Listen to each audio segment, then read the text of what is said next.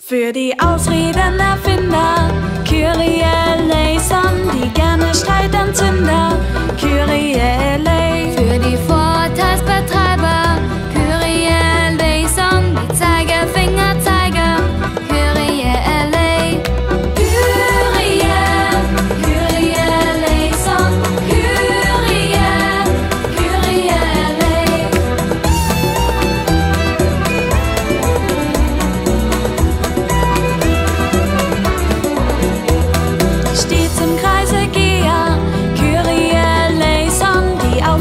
ze steht.